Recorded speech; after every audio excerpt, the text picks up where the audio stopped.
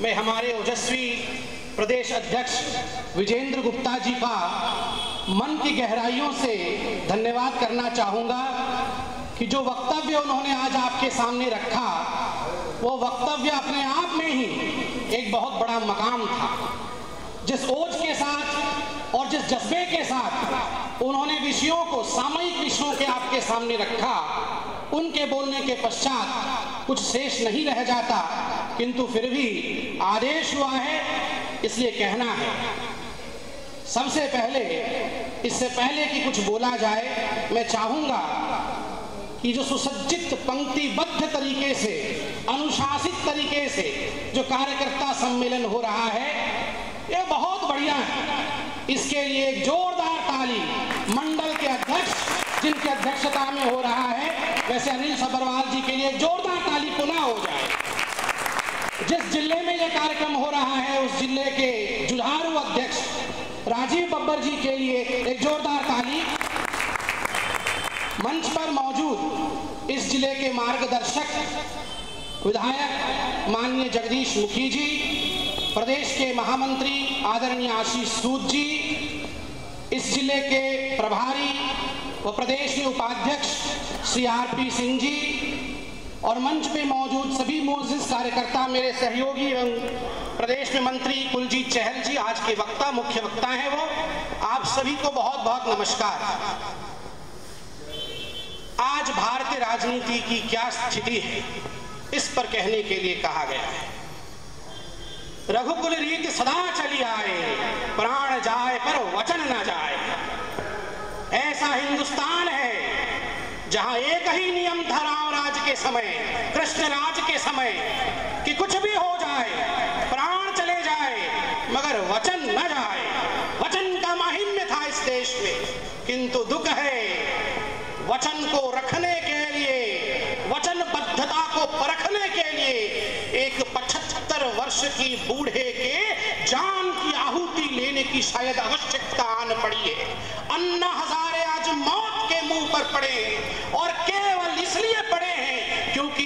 संसद ने उन्हें कुछ वचन दिया था, और आज वो घड़ी आ गई है। इस वचनबद्धता को परखने की किंतु दुख है। इस देश में ऐसा कोई राम नहीं, अब ऐसा कोई कृष्ण शेष नहीं, जो एक बूढ़े के जान को बचाने के लिए वचन रख सके। इससे बुरा क्या है क्या चाहिए अन्ना को कुछ नहीं चाहिए 20-25 साल बाद संसार में भी नहीं होगा। कोई बच्चा नहीं उसका, कोई घर नहीं, कोई संसार नहीं। एक कमरे में रहता है वो आदमी, किसके लिए लड़ रहा है? हिंदुस्तान के लिए लड़ रहा है। प्रधानमंत्री बनने के लिए नहीं लड़ रहा है वो। किंतु आज दुख है, इस कांग्रेस की सरकार ने ऐसे लोकपाल को संसद के सामने रखा, जिसने सारे मर्यादाओं का उल्लंघन करते हुए एक मजबूर लोकपाल साबित किया अपने आप। अन्ना लड़ रहे थे मज़बूत लोकपाल के लिए। भाजपा कटिबद्ध थी कि मज़बूत लोकपाल आएगा तो संसद में समर्थन करेगी। किंतु कांग्रेस ने देश को क्या दिया? दिग्भ्रमण दिया है, दिशा भ्रमण कर दिया है। और एक मजबूर लोकपाल, घुटना टेकता हुआ लोकपाल संसद में रखा है। किंतु मैं धन्य मानता हूँ अपने आप को कि मैं एक ऐसे पार्टी का सदस्य हूँ, जिस पार्टी के केंद्र नेतृत्व में इतनी जान है, इतनी हिम्मत है कि उन्होंने कल संसद को झकझोर के रख दिया और इस कानून को पारित होने से तो नहीं रोका, किंतु इसे संसदीय दर्जा नहीं दिया। पारित तो हो गया, किंतु संसदीय दर्जा लोकपाल को नहीं मिल पाया है। आज राज्यसभा में इस विषय पर चर्चा चल रही है। और हमें पता है कि कांग्रेस हथकंडों को अपनाते हुए हो सकता है बिल को पारित भी कर ले, किंतु ध्यान रहे, समर शेष है, युद्ध शेष है, समर शेष है, नहीं पाप का भागी केवल व्याघ्र, समर शेष है, नहीं पाप का भागी केवल व्याघ्र, जो चुप है, इतिहास समय लिखेगा उनका भी इतिहास, जो चुप है में लिखेगा उनका भी इतिहास। जो जो भ्रष्टाचार कर रहे हैं और जो अत्याचार कर रहे हैं, केवल वही किसे जाएँगे ये सत्य नहीं है।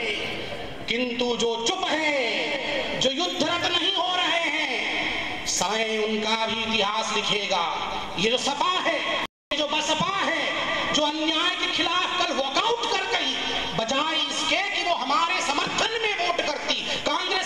वोट करती, वो वॉकआउट कर गई, जिसके कारण अंततः यह बिल पारित तो हो गया।